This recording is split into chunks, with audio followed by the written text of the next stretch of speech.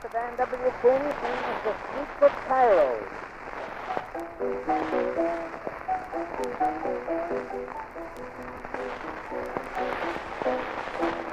I will sing you a song, and it won't be very long, about a maiden sweet, and she never would do wrong. Everyone said she was pretty, she was not long in the city, all alone, oh what a pity, poor little maid.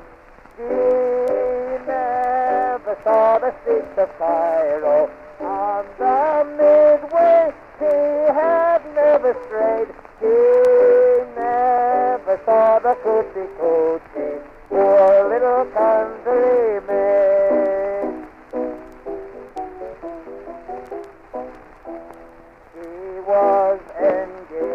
as a picture for to pose to appear each night in abbreviated clothes.